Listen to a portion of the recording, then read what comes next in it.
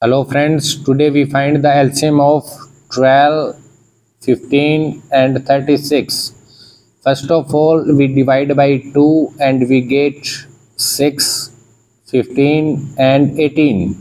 Again divide by 2, we get 3, 15 and 9. Divide by 3, we get 1, 5 and 3. Again divide by 3, we get 1, 5 and 1. Divide by 5, we get 1, 1 and 1.